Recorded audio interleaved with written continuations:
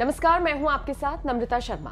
पाँच राज्यों में जो विधानसभा चुनाव हुए, उनके नतीजे आज आ जाएँगे। 10 मार्च आज वही तारीख है जिसका इंतज़ार जनता को था और तमाम पॉलिटिकल पार्टीज़ को भी था। इन सबके बीच जो एग्जिट पोल सामने आए, उसमें एक तरफ़ ये देखने को मिला कि कांग्रेस ज़्यादातर राज्यों में पिछड़ती हुई नज़र आई, लेकिन इन सबके बीच कांग्रेस यूथ के जो अध्यक्ष हैं, उन्होंने एक तस्वीर साझा की।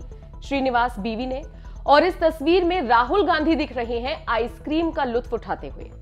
श्रीनिवास बीवी ने यह तस्वीर ऐसे वक्त पर साझा की है जब चुनावी नतीजे आने वाले थे और एग्जिट पोल्स अपने संकेत दे चुके थे कांग्रेस को लेकर।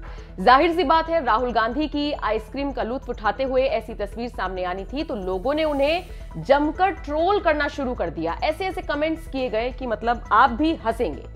सुनिए, एक यूज़र ने लिखा देश का फलूदा बनाने वाले आज फलूदा खा रहे हैं। एक और यूज़र ने लिखा, जल्दी जल्दी खा लेता हूँ, वरना आइसक्रीम ठंडी हो जाएगी। ये तंज कसते हुए इस यूज़र ने लिखा। एक और यूज़र ने लिखा, न जीत की खुशी, न हार का गम, गजब का आत्मविश्वास है बंदे में। एक और यूज़र ने लिखा, इसमें कोई लक्षण दिखता है पीएम बनने का? चमचे इसे पीएम बनाने के सपने संजोए बैठे हैं। एक और यूज़र ने लिखा कांग्रेस की सीटें तो आनी नहीं। चलो, मुझे क्या? मैं तो आइसक्रीम का मज़ा लूँ, फिर विदेश चला जाऊँगा। एक और यूज़र ने लिखा, मेरा क्या? मैं तो बैंकॉक निकल जाऊँगा। एक और यूज़र ने लिखा, कितना खुश है मासूम, देखो तो। प्रधानमंत्री बनाने का सपना दिखाकर इस मासूम की मासूमियत मत छीनो, चमचो। बहुत बड़ा पाप लगेगा। देखा, आइसक्रीम देखकर बालक कितना खुश हो गया।